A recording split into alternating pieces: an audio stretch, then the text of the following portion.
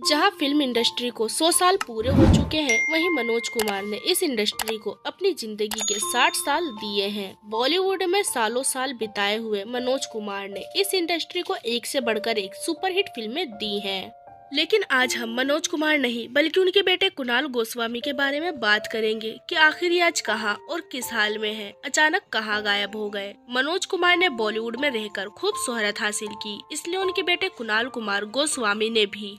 फ़िल्मों में आने का फैसला लिया। कुणाल गोस्वामी को एक्टिंग विरासत में मिली थी। बचपन से ही वो अपने पिता को एक्टिंग करते हुए देख रहे थे। यही सोचकर मनोज कुमार ने कुणाल को एक्टर बनाने का सोचा। मनोज कुमार को लगा था कि वो भी उनकी तरह ही स्टार बनेगा और बॉलीवुड में उनका नाम रोशन करेगा। शायद इसी सोच के साथ मनोज कुमार ने कुणाल को बचपन से ही एक्टिंग की दुनिया में ढालना शुरू कर दिया। अपनी निर्देशित फ़िल्म क्रांति में मनोज कुमार ने कुणाल को भी लिया। इस फ़िल्म में कुणाल ने चाइल्ड एक्टर के तौर पर काम किया। स्क्रीन पर कुणाल गोस्वामी का ये पहला एक्सपीरियंस था। इसके बाद कुणाल गोस्वामी ने और भी कई फ़िल्मों में हाथ आजमाया, लेकिन उनकी एक्टिंग स्किल्स किसी को भी रास नहीं आई। फ़िल्मों के नाम पर लोगों को सिर्फ़ कुणाल गोस्वामी की कलाकार ही याद है। इसमें वो श्रीदेवी के साथ नज़र आए। फ़िल्म तो चली नहीं, लेकिन इसके गाने नीले नीले अंबर पर ने खूब धमाल मचाया। ये गाना श्रीदेवी और कुणाल गोस्वामी पर फिल्माया गया था। कुणाल का लुक तो आपने पिता जैसा ही था।